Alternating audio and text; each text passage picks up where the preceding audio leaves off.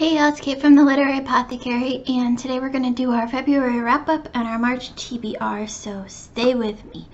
In February, I finished seven total books with 2,524 pages technically counted because like Eye of the World was like three months. I started that back in December. Um, two audiobooks equaled 11 hours and 50 minutes. I had three five stars, one four star, one three and a half star, one three star, and one work in progress that I didn't write. Um, just to review what I went through in February, and I'll have links to all of my reviews in the description below, so check those out if you want. So, like I said, The Eye of the World, I gave this three and a half out of five stars. Their Eyes Were Watching God, I gave four stars. Skyward by Brandon Sanderson, I gave this five stars. Let There Be Love was three stars, and this you'll hear more about um, at the end of March. I'm doing a collab vlog type of deal, so you'll hear more about that book, Let There Be Love, later this month. Um, From Blood and Ash, I gave five stars, and Feet of Clay, I also gave five stars.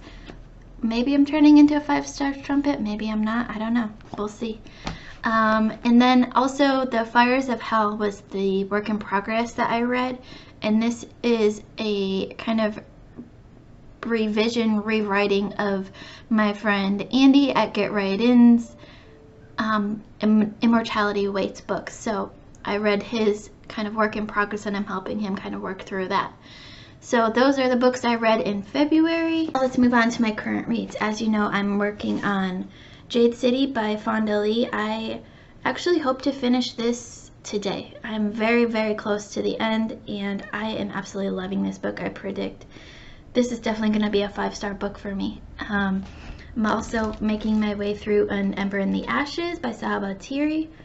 And so far I'm enjoying it, but we'll, I might need to take a break when I get my books from the library today. We'll see.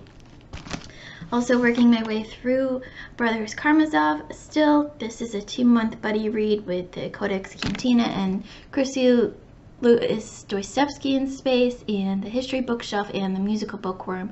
And I'll link that Discord below also so you can check that out. I'm also listening to an audiobook for my um, collab vlog that I talked about with Let There Be Love. And I'm reading an arc for a Discord friend right now.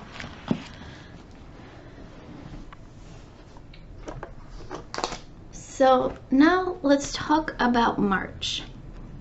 As you know, I always have a over ambitious um, TBR for the month and I just love adding books there and seeing how far I can get into my TBR. So in addition to my current reads, I'm going to be reading The Starless Sea by Erin Morgenstern. This is our Literary Apothecary Discord buddy read, so join us there as always, I'll have the link down below. Can't wait to work on that. And we'll have also have a um, live show with Vish at Books with V at the end of the month, beginning of April, because we both have these as our buddy reads. So we're going to be talking about it together, and I'm very, very excited about that. Next is All the Light We Can See by Anthony Doerr, and this is a historical fiction book that I absolutely love. It's going to be a reread for me, and it's a buddy read with my two friends, Angela and Charmaine. And then the next up, the next two books up are books in a series that I'm starting here on YouTube called My Birthday Reads. So every time that one of my booktube best friends has a birthday, I'm going to be reading one of their favorite books during that month. So for Lezlie at the Nerdy Narratives birthday, which was just yesterday, I'm going to be reading Redeeming Love. And then for Allen at Library of Alexandria's birthday coming up later this month, I'll be starting Senlin Ascends. Um, next up is The Hero of Ages by Brandon Sanderson, and this is book three in the Mistborn series and so that will actually finish a series for me which is a first this year and I'm excited to be able to finish that series off and see where the story goes in Hero of Ages and this is a buddy read with my friend Charmaine and Anya um, And then the next up is the Lord of the Rings trilogy. And what I'm probably going to do based on my TBR size for March is split up the series into one per month for the next couple months. But this is a buddy read with the Allen at Library of Alexandria's Discord.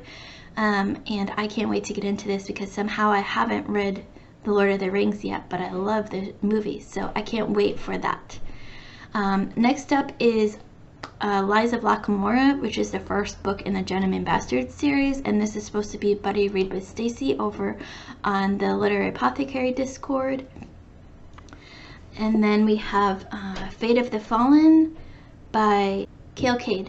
Um, and this is the Shelf Space official book of the month pick, so I can't wait to read this. I got this book at Christmas time from Lezlie at the Nerdy Narrative, and I can't wait to get into this.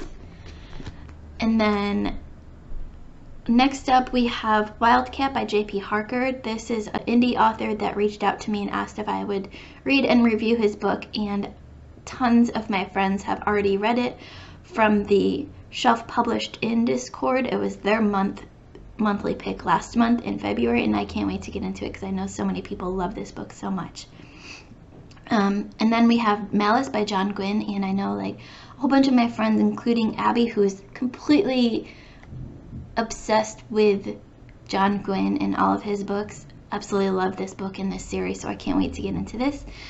And then the last two books on my list are Balto, which is part of that uh, lab vlog that I'm talking about at the end of this month and time permitting hopefully I have time for it but A Kingdom of Flesh and Fire which is the second book in the Blood and Ash series by Jennifer L. Armentrout.